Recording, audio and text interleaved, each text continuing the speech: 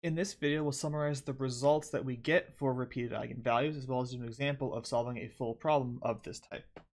So what do we end up getting out of that entire process of generalized eigenvectors and all that fun stuff for these problems? Well, the end result of all it is we do end up with two linearly independent solutions that we can use to write a general solution. It's a little more complicated to get to than the ones for real and distinct roots, but the idea is the same. Once I get these two solutions, I write them with constants to get a general solution, and then I can do whatever I want from there. So in general, for these problems, assume we're looking at the system x prime equals a times x, where determinant of a minus lambda i factors as lambda minus r squared. We have a double eigenvalue at r.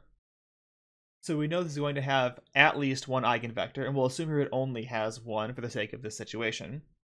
So we find the eigenvector as a solution to a times v equals lambda v, or the way you generally solve it, a minus lambda i times v equals 0. And then, since we only find one of these, we also want to find a generalized eigenvector to pair with it.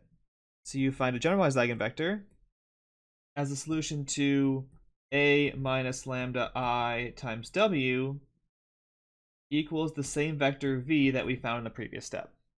Once we have these vectors, we can then write a general solution as x of t is c1 times our first solution, which is v e to the rt, and then c2 times our second solution, which will be v times t e to the rt, and then plus w e to the rt.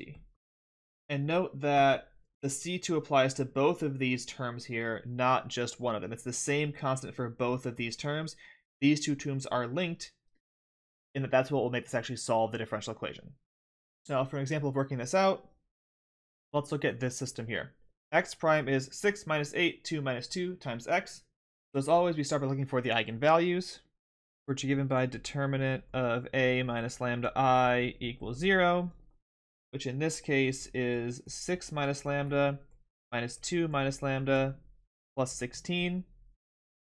Lambda squared minus 6 lambda plus 2 lambda minus 12 plus 16 is lambda squared minus 4 lambda plus 4, which gives a double root at 2.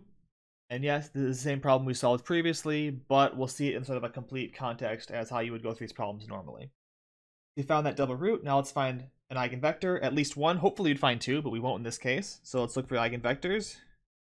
And so we're subtracting 2 off the diagonal, so I end up with a matrix that is 4 minus 8, 2 minus 4, which will row reduce to 1 minus 2, 0, 0. Which means an eigenvector here is 2 and 1. Now, since I only get one eigenvector, I know I'm going to need a generalized eigenvector to write the general solution let's just do that right now. We already have this equation put together. So I can then look for the generalized eigenvector. We can take the same answer we had before, this after we subtracted lambda i, 4 minus 8, 2 minus 4, and tack on the 2, 1 that is the eigenvector, and then solve this out. If we row reduce this, we end up with 2 minus 4, 1, 0, 0, 0. It tells me that 2w1 minus 4 W2 equals 1. I can choose any W1, W2 I want to satisfy this. To give a contrast to the one we found previously, let's use W2 equaling 1 fourth and W1 equals 0 as our choice here. So my generalized eigenvector is 0 and 1 fourth. Now that I have it, I can write the general solution. And I get x of t equals c1 times my eigenvector, which was 2, 1, e to the 2t, and then plus c2 times the second solution, which is the eigenvector, times t e to the 2t, and then plus my generalized eigenvector, 0, 1 fourth, times e to the 2t. And that would be a general solution for this problem. Now just to relate to the previous example, in the first time we did this, we had this last term here, this one here, being a 1 half 0 e to the 2t, whereas now we have a 0 1 fourth e to the 2t. I have now realized my mistake from earlier. These should all be negative 1 fourths. Negative 1 fourth here, negative 1 fourth here, negative 1 fourth here. because I want this to be positive 1 here, this value has to be negative 1 fourth. But what's the difference here? Well, it turns out the difference here is actually a multiple of this first solution.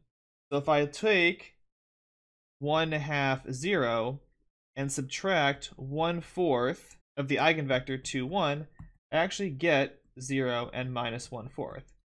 So what that means is the difference between this solution and one we found earlier is just that I've moved some copies of this into this orange term over here. I still get the same general solution no matter what I pick for the generalized eigenvector, but it's going to look a bit different. And it's going to be different by some multiple of the original eigenvector because I have this C1 and C2 that if I change the numbers a bit, I can move copies of this into here to change what this vector looks like because these are the same solution. These two are just paired together in a way that shows that it actually solves the problem. That's the setup for these general solutions and how you get them from the eigenvector and generalized eigenvector for a repeated eigenvalue.